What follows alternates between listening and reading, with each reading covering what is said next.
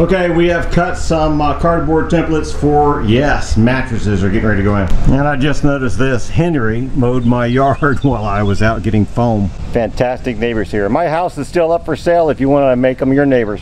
And if you need services here in town, you can call Henry. He has a uh, haul off, clean up, uh, yard service, you name it, he'll get it done. He's a good guy.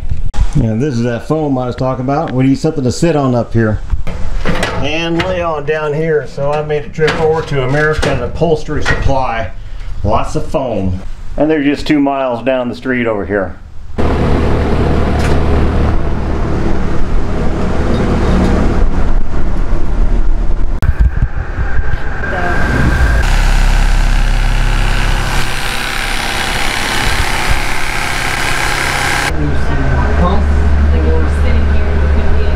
Corey is installing fans.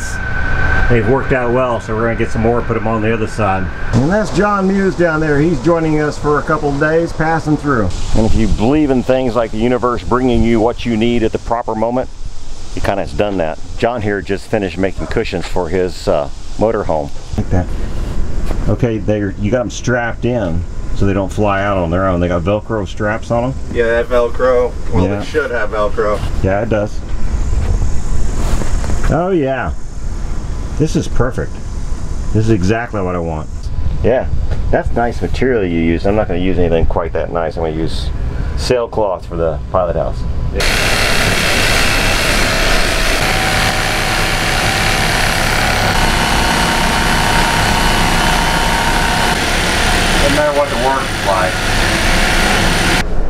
Okay, a couple tips for you. You can cut this relatively flat, but it's not going to be perfect. The factory edge is really nice, so if you're going to butt two together, make sure you glue a factory edge to another factory edge. Cut your stuff on the outside where you won't have to use this as a glue joint. This way, so straight across. We're at American Trim Upholstery, picking up more foam. That's Mike. Wow, you got a whole back room. This place is huge. Yeah. So if you need something in the foam and upholstery department, this is the place. They're gonna have it here, aren't you? Yep. And these are the big buns that come in? It is. And so there's a saw that they just slice it down. Wow. To whatever you need in thickness. Hydraulic system on it to run it. So there you go.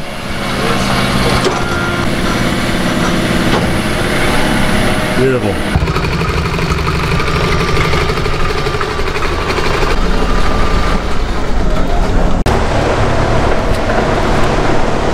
Lovely. Tough, man. It's tough, I know. It's it's it's work. So yeah. step A, make a tube that the foam will shove into. Man, that's tight. It's a good and thing. Then you work on the flaps on bed. the end. What? Your bed had to be perfect. My bed, it has to be perfect. That's right. Looks like a lot of work there, John. Only if you do it my way. I'm not going to take make more work for yourself. Yeah, I'm not going to be taking it out of there very often. So you put the foam in, you can figure out the corners very easily, but man, it's a, it's a lot of work putting it in. The other idea is, you know, we could just cut it and glue it. We don't have to sew the ends. I'm not opposed to it. Nah, nah, we'll be better than that. What we want to do is we're going to leave a, a flap here so that we can take the foam out occasionally, put it out in the sun, let it dry, kill any mildew that might be growing on it. That, that's gonna be nice. I, I like to cut out all that material. Um, okay, because it's too bulky. Yeah. Okay. Yeah. But,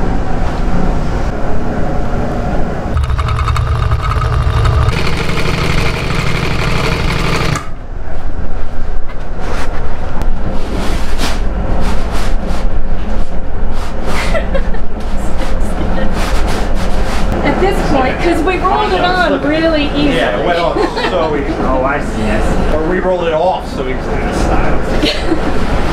you know, it's like an athletic sock. But you can't, you can't reach in and pull from the end anymore. All right, well then let's. Uh, You're pretty much at the end now. So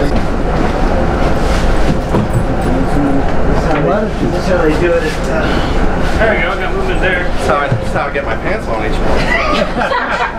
Oh yeah, there we go. Looks good though. Yeah, looks fantastic. Doug, that's your bed. Yeah. Sleep on it tonight. All right.